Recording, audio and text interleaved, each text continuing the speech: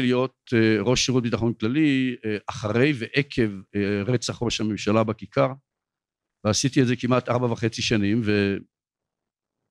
ומבחינתי כמובן זה היה שינוי דרמטי לכל מה שהבנתי, ראיתי ולמדתי על החברה הישראלית ומדינת ישראל ושאלו אותי, אני זוכר, יש הרבה מאוד רעיונות עיתונאיים כשאתה מסיים שירות, שאלו אותי מה למדת.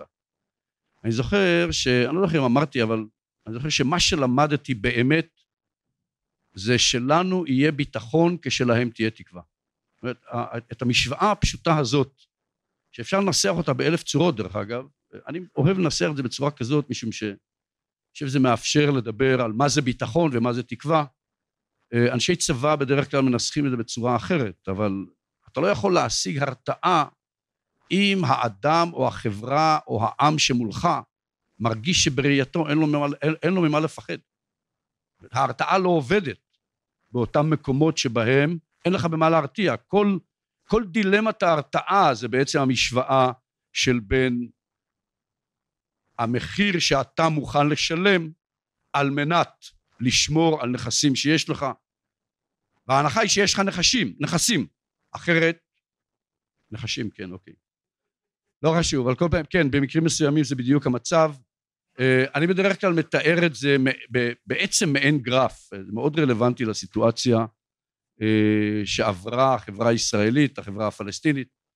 אה, אני חושב שכמעט כל אחד מאיתנו למד את הנושא של מה שנקרא השולי הפוחת. ואתה עובר, בדרך כלל אני זוכר בשיעורי כלכלה, אה, אתה הולך במדבר במשך שבוע ימים, כמה אתה מוכן לשלם אחרי שהיית שבוע במדבר עבור כוס מים. המחיר יהיה אינסופי. לעומת זאת, אם אתה תשתה אה, עוד בקבוק ועוד בקבוק, ואחרי הבקבוק השלישי או הרביעי, אתה לא מוכן יותר לשלם שום דבר עבור כוס מים, אתה כבר ברוויה, ויש אפילו מצבים שבהם אתה מוכן לשלם ובלבד שלא ידחסו לך עוד ועוד מים. עכשיו אני אומר עוד פעם למה, למה זה חשוב? משום שאם העקומה הזאת היא מה שנקרא המחיר עבור כוס מים הולך ופוחת ובשלב מסוים הוא אפילו הופך מה שאנחנו קוראים מחיר שלילי. איך אנחנו מודדים את זה במערכת היחסים שבינינו לבין אדם אחר חברה אחרת או עם אחר? אז הצירים הם אותם צירים ציר ה-X ציר ה-Y אבל בואו נניח שהיחידות שאנחנו מודדים על ציר ה-X זה יחידות של נזק. כמה נזק אנחנו גורמים להם או כמה נזק הם גורמים לנו. כמה אוטובוסים הם מפוצצים, כמה בתים או כמה אנשים אנחנו הורגים, זה דברים שניתן למדוד אותם בצורה כמותית מאוד ברורה. אלף, אלף חמש מאות, אלפיים חמש מאות, חמש מאות. והשאלה מה קורה על ציר ה-Y, זה ציר הסבל. יש פה תופעה מאוד מאוד מוזרה, אבל מרתקת, וחייבים להבין אותה. ההרוג הראשון גורם לנו סבל כמעט אינסופי. אבל ברגע שיש עוד אחד ועוד אחד ויש מאות ויש אלפים, אז הסבל עבור כל אחד שנהרג הולך ופוחת. כשעם ישראל היה במצרים, ונאמר שם מלאה שאת הסבל. מלאה שאת הסבל זה לא חשוב מה, לא חשוב מה אנחנו נעשה להם. הם לא יכולים לסבול יותר. הם אפאתיים. אבל יש מצב שבו הסבל הוא שלילי. מה זה נקרא סבל שלילי? זאת אומרת שככל שגורמים להם יותר הרג, ההתנהגות שלהם היא הפוכה מהציפיות שלנו. זה המקום שבו ניתן להסביר את תופעת המתאבדים. כשלאדם, אני זוכר ששייח' יאסין ב-1998 אמר דבר מרתק, דרך אגב בריאיון פומבי, פלסטין אל-מוסלם. הוא אמר היהודים טיפשים, הם לא מבינים שעל כל שהיד שהם הורגים לנו, יש לנו מאות ואלפי מתנדבים. זאת אומרת, ככל שאנחנו הורגים בהם יותר, המוטיבציה שלהם להיהרג או להרוג ולהיהרג היא גוברת. זה בדיוק המקום על הגרף שבו אין תקווה. אני אומר את הדברים האלה משום הדילמות האלה לא מספיק נכנסות לא לתודעה הציבורית, לא לדיון הציבורי, ואגב גם לא לדיון המקצועי. יש הרבה שרים בקבינט שעדיין מאמינים שניתן להכריע, שהם ירימו דגל לבן. בצוק איתן הרגנו מאות רבות. כשנכנסנו ללחימה בצוק איתן, החמאס היה, זכה לתמיכה סדר גודל של 20-25 אחוז בציבור הפלסטיני, בכלל הציבור הפלסטיני. אחרי 53 ימי לחימה, זאת פעם ראשונה בהיסטוריה הפלסטינית שמנהיג החמאס, אסמאעיל הנייה, קיבל פי שניים מאבו מאזן בסקר דעת קהל אם הבחירות יהיו היום עבור מי היית מצביע. הוא קיבל 61 אחוזי תמיכה לעומת 32 אחוזי תמיכה שקיבל אבו מאזן. אנחנו מצפים, אגב חלק מהפסקות האש נעשו על מנת שהפלסטינים יצאו ויבינו איזה הרס נגרם להם כתוצאה מהחמאס והם יצאו והבינו דבר אחר לחלוטין. החמאס התחזק ולכן הסוגיה הזאת היא סוגיה שצריכה לעמוד ברקע כל דיון שאנחנו עושים ובעיקר אצל מי שמאמין שבעוד כוח ניתן לפתור את הבעיה.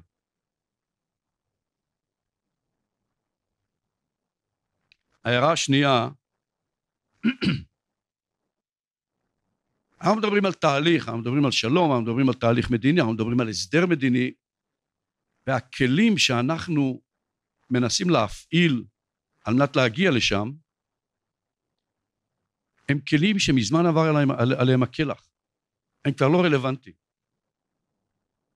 אני לא מגלה לאף אחד מכם שום דבר, אני מעריך שאנחנו יודעים שאם חס ושלום נהרג ישראלי שגר ממזרח לגדר זה יקבל כותרת הרבה יותר נמוכה בעיתון מאשר אם חס ושלום ייהרג ישראלי מאותו פיגוע טרור בתל אביב או בחיפה.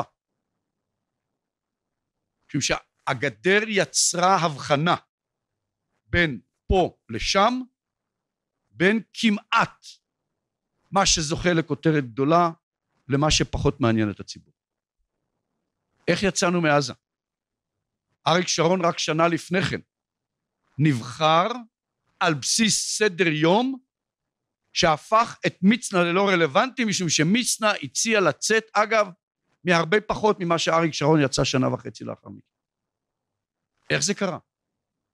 קרה בגלל שלוש או ארבע סיבות. הסיבה הראשונה זה לחץ בינלאומי. בוש שנכנס לעיראק הבין אחרי שנתיים זאת הייתה טעות, הוא ניצח והפסיד, אין לו שום סיכוי לבנות דמוקרטיה כפי שחלק מיועציו חשבו, אנחנו נכבוש את עיראק, נוריד את הרודן והדמוקרטיה תפרוץ. וכמובן הכל פרץ, פרט לדמוקרטיה, והמזרח התיכון של היום הוא הרבה פחות דמוקרטי, הרבה פחות יציב, הרבה יותר אלים, לא רק בגלל הסיבה הזאת, אבל בין השאר. והוא חיפש אסטרטגיית יציאה מעיראק וזה מה שהביא אותו לאמץ את מפת הדרכים שאגב הומצאה באירופה ותורגמה לאנגלית ו... ואומצה על ידי הנשיא שהביא ובעצם אנס את אבו מאזן ואת אריק שרון בעקבה לקבל את מפת הדרכים זה היה בניגוד מוחלט לרצונו של אריק שרון הוא הכניס שם הסתייגויות אבל אריק הבין שהוא לא יכול להרשות לעצמו להיאבק או לצאת חוצץ כנגד הנשיא האמריקאי. הסיבה השנייה התנועות, החברה האזרחית הישראלית. הייתה אינתיפאדה, עדיין, לכן היו שלוש קבוצות. אחת, אנחנו, אני יודע את זה היום בדיעבד, משום שדיברתי עם דובי וייסגלס, והוא אמר לי מה היו השיקולים של אריק שקרא להם ואמר להם שאנחנו יוצאים מעזה. אחת זה באמת הסכם ז'נבה שיצר אפקט אדיר בקהילייה הבינלאומית פתאום הראה שיש ישראלים ויש פלסטינים שמסוגלים אפילו לסכם את הפרטים הקבוצה השנייה היינו פרופסור סארי נוסייבה ואני עם המפקד הלאומי שהגענו כמעט ל-450 אלף חתימות? שאפשר תמיד להגיד, זה כן עזר, לא עזר, בדיעבד אנחנו יודעים שהעובדה שהגל הזה, שברגע שזה הופך למאות אלפי חתימות, שאתה יודע את מספרי הזהות, מספרי הטלפון, זה כבר נתפס כאיום פוליטי. זה כבר כוח שיכול להשפיע בבחירות, למרות שלא הייתה לנו שום כוונה כזאת, אבל פוליטיקאי בצדק מפחד תמיד. ובמיוחד, במיוחד אותו רעיון שעשינו ארבעה ראשי שירות ביטחון כללי, נתנו רעיון בידיעות אחרונות, אגב פה בארץ, איך אומרים, עיתון, אז אחרי יומיים זה כמעט נשכח, וזה עלה כמובן בדיון קבינט ביום ראשון, אריק אמר, ראשי השירות האלה הם בגדו בעברם ומפקירים את ביטחון מדינת ישראל, אבל זה תורגם לאנגלית. עולם גלובלי שקוף. חודש או חמישה שבועות אחרי זה היה בירושלים ה-GA, ה-General Assembly, של מנהיגי הקהילות היהודיות בארצות הברית, והם דרשו, הם לא ביקשו, הם דרשו רעיון עם אריק שרון, והם הגיעו לרעיון הזה, ארבעה חמישה אנשים, אני יודע את זה גם מדובי וייסדס וגם ממרטין אינדיק, והם אמרו לו, אדוני ראש הממשלה, אחרי הרעיון הזה, אנחנו לא יכולים להגן על המדיניות שלך בוושינגטון כפי שעשינו עד היום. אנחנו בעצם אמרנו שם את הדברים ש- שאמרנו במהלך המפקד הלאומי, שמדינת ישראל הולכת בעצם למבוי סתום ואנחנו מאבדים את זהותנו, מדינה יהודית דמוקרטית וכולי וכולי. והסיבה השלישית, למרות שאני אישית מתנגד, דיברתי על זה בשיחות קודמות, זה אותם טייסים וקציני מטכ"ל שהודיעו שהם מסרבים לשרת בשטחים ו, אה, ובעצם אחרי שלושת הדברים האלה אריק קרא לעוזריו ואמר רבותיי אנחנו כבר לא מאבדים את השוליים ההזויים בלשונו של השמאל הישראלי. אנחנו מאבדים בעצם את, את הבקבון של המיינסטרים הישראלי לצורך העניין את הקהילה הביטחונית הישראלית ולכן אין לנו ברירה ואנחנו אה, נצא מעזה. כל מה שאני רוצה לומר זה שבמציאות של היום מנהיגים פוליטיים הם מובלים, הם לא מובילים. כשאנחנו מדברים על מנהיגות פוליטית, אסור לנו להסתכל על הכנסת ולחפש אותה שם. אני בדרך כלל נפגש עם הרבה מאוד חבר'ה צעירים, אני מעדיף להיפגש עם אנשים שהם איפשהו אה, מכינות, קדם צבאיות, אנשים שסיימו את שירותם או אפילו בצה"ל ולומר להם, בעצם אני אומר להם בצורה קצת דרמטית, אתם חושבים שאתם ממלאים את חובתכם הדמוקרטית כשאתם משלמים מיסים אה, ועושים מילואים. וזה רחוק מזה. בחברה דמוקרטית אתה ממלא את חובתך כשאתה קם כל בוקר בידיעה ברורה שיש לך את היכולת להשפיע ויש לך את הרצון להשפיע וברגעי משבר יש לך את החובה להשפיע. אני חוזר אחורה לתהליך שעשינו עם שרי. מה הייתה הנחת העבודה? הנחת העבודה שלנו הייתה ההווה הוא גיהינום. צריך להבין, זו הייתה בדיוק אינתיפאדה. מאות נהרגו בדיעבד אלפים, אבל כשישבנו ודיברנו מאות נהרגו משני הצדדים של האין גבול. אני חושב שכל אזרח בחברה הישראלית ובחברה הפלסטינית הבין שאנחנו הולכים למקום מאוד מאוד גרוע. נמצאים במקום גרוע ואנחנו הולכים למקום עוד הרבה יותר גרוע. אמרנו אם זה ככה, אם ההווה הוא בלתי אפשרי וכל מה שכל אחד מאיתנו מנסה לעשות זה לצאת מההווה הזה למקום טוב יותר אז בוא נניח שאנשים לא מתנהגים על פי מה שהם רואים מסביב כל יום, זה גיהינום. אנשים יתנהגו על פי התקווה שיש להם לעתיד טוב יותר. אגב זה מזכיר לי את הוריי, אני גדלתי במציאות סוציאליסטית לצורך העניין עמק הירדן, במציאות של ציונות מאוד פשוטה. היו לה שני צדדים, צד אחד זה היה הצד החברתי, שוויון, צדק, הסוציאליזם במיטבו, הצד השני זה הצד המדיני-ביטחוני. אנחנו הולכים לבנות מדינה בארץ ישראל, שהגבולות שלה יהיו בכל מקום שבו אנחנו יודעים לבנות התיישבות או התנחלות, לעבוד את האדמה ולהגן על עצמנו. אני לא הפכתי למתנחל, רק משום שזה היה ביטחון והתנחלויות. אני, 67, הייתי בחיל הים, הייתי בשייטת, וכתוצאה מ-67 החלטתי שצריך להישאר בצבא. אבל חבריי מהכיתה, מהקיבוץ, מהעמק, הלכו להתיישב ברמת הגולן, בבקעת הירדן אה, ובסיני. זו הייתה אותה ציונות. זו תנועת העבודה, אני מקווה שלפחות בפורום הזה אנחנו מבינים, זה לא גוש אמונים ולא שום דבר, זה תנועת העבודה על בסיס אותה ציונות שהקימה את חומה ומגדל. ולכן כשנפגשתי עם שרי הבנתי שהציונות הזאת הביאה אותנו בעצם לאותו מבוי סתום. אמרנו ההווה הוא בלתי נסבל בוא, נ, בוא נבנה עתיד שיהיה מספיק חשוב או יפה או מפתה על מנת שהרבה אנשים יהיו מוכנים לעשות ויתורים כואבים מאוד. ויתורים, ויתור על חלום הוא ויתור כואב. זה גם החלומות שלנו, ארץ ישראל הגדולה, וגם החלומות שלהם, פלסטין הגדולה. שני הצדדים היו לנו, ועדיין יש לנו נרטיבים קנייניים.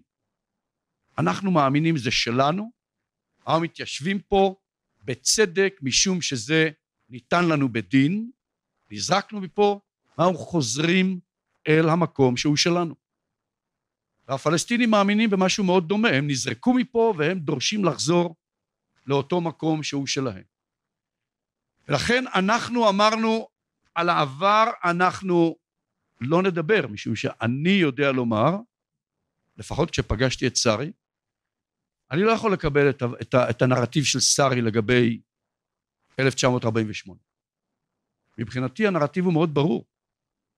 אנחנו היינו מוכנים לגבולות החלוקה, הם תקפו אותנו, הייתה מלחמה צודקת, ו- ולכן אנחנו ניצחנו והם הפסידו. זה הנרטיב שאני גדלתי עליו.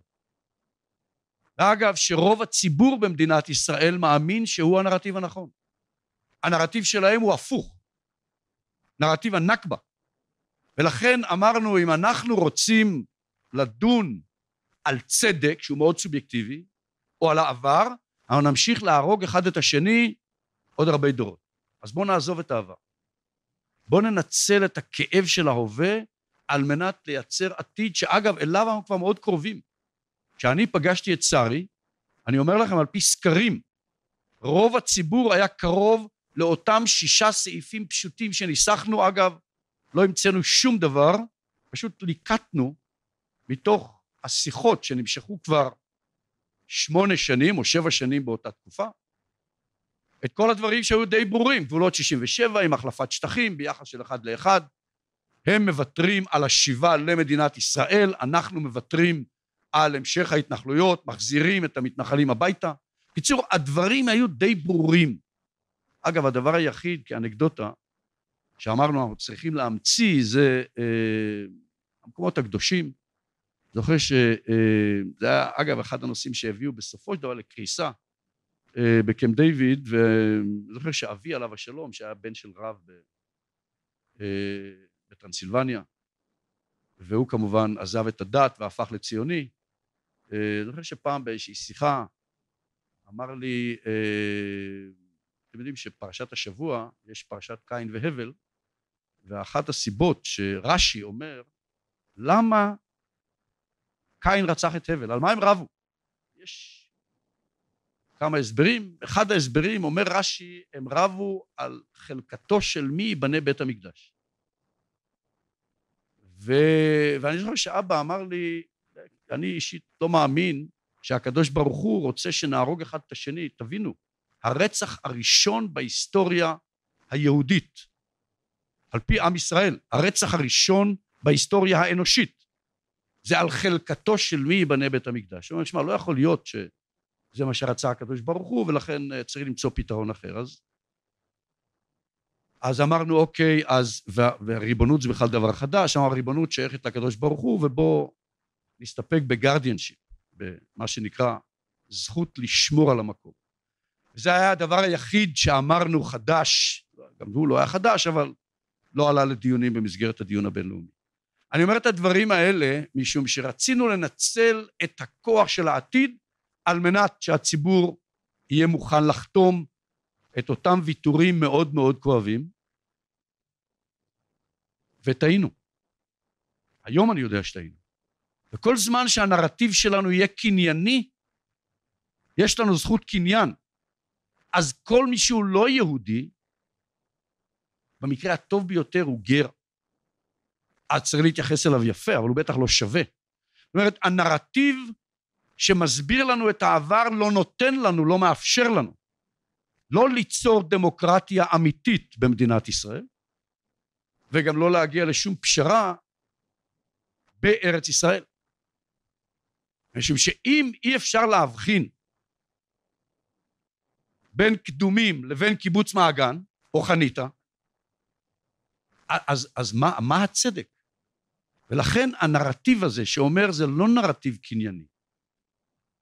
ספר נפלא דרך אגב שכתב פרופסור אה, חיים גנז, פורסם לפני שלוש שנים, אני ממליץ, פילוסוף, אז הספר הוא מאוד מאוד קשה, אבל בכל זאת הוא מספיק חשוב על מנת לקרוא אותו. הוא אומר, הנרטיב הקנייני בנה את מדינת ישראל, אבל אנחנו חייבים לשנות אותו, משום שהוא מכתיב לנו המשך הליכה לנו כחברה, כמדינה, המשך הליכה אה, למקום שבו אנחנו לא רוצים להיות, לאובדן זהות. ולכן הוא מתאר בעצם נרטיב שוויוני שאומר אנחנו פה משום שיש לנו זכות הגדרה עצמית אבל לפלסטינים יש זכות דומה ולכן אני לא רוצה להרחיב אבל אה, בעצם אומר הזכות שניתנה לנו להילחם על מנת להגדיר את עצמנו כחברה וכעם בתוך טריטוריה הסתיימה בגבולות 67 משום שהקמנו מדינה כבר לא נשקפת לנו כבר לא נשקף לנו איום קיומי ולכן אנחנו חייבים בעצם לקבל שכל מי שנולד פה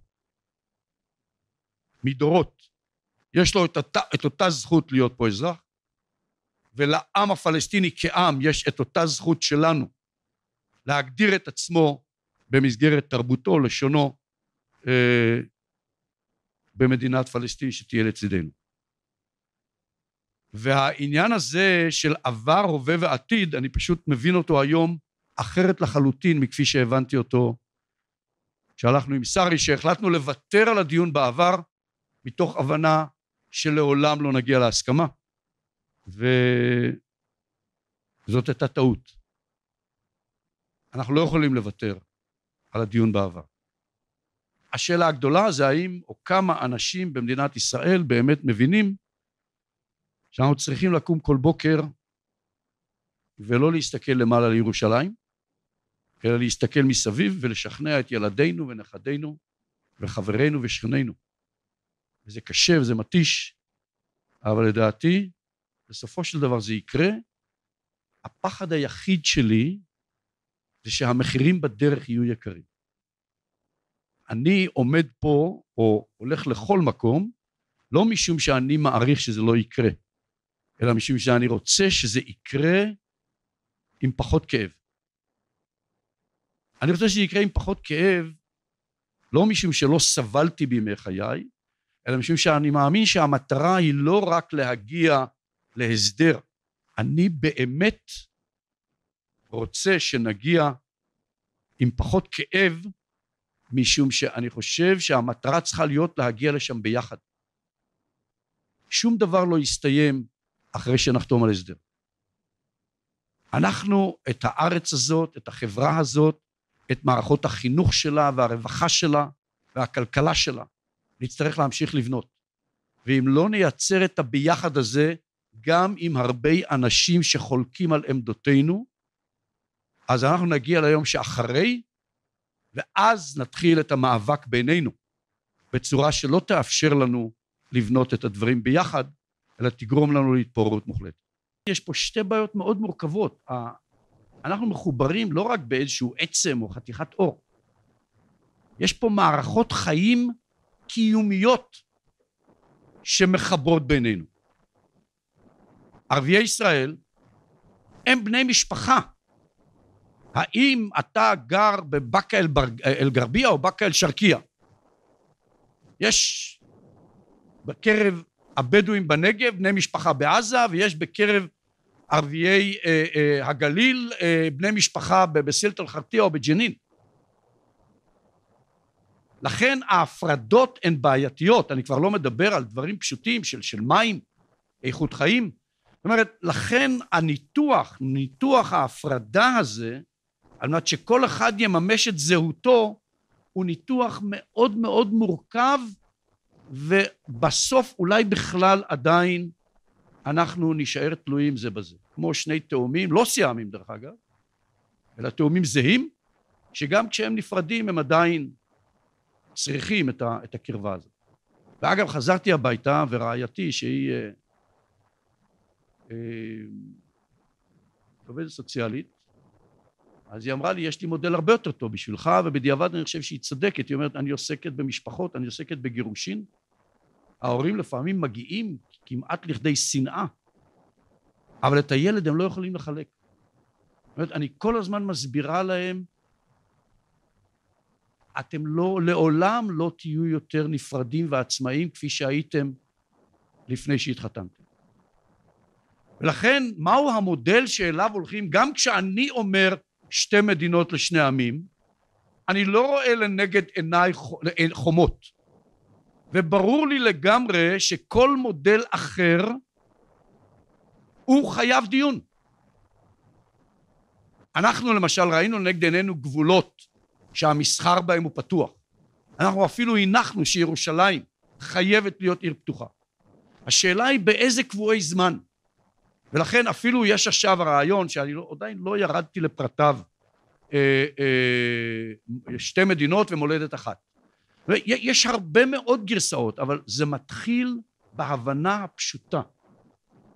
הפוליטיקה האזורית היא פוליטיקה של זהויות.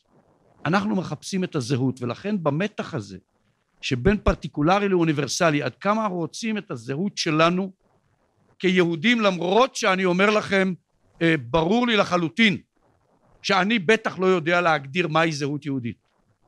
ויש אין סוף זהויות יהודיות אבל עדיין הביחד הזה יש לו ערך. כתרבות, כמורשת, כהיסטוריה או כמגוון של תפיסות דתיות. ואותו דבר לגבי הפלסטינים. ולכן אני מאוד מקבל שהדיון הזה חייב להימשך משום שהאמירה שתי מדינות לשני עמים עדיין לא פותרת הרבה מאוד מהסוגיות.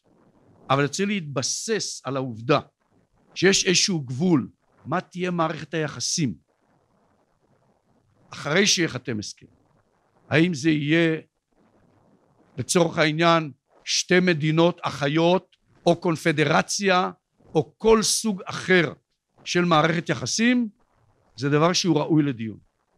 אבל אסור לנו לברוח מהרצון של כל אחת מהקבוצות האלה להגדיר את עצמה כקבוצה לאומית, תרבותית ובמקרים שלנו גם דתית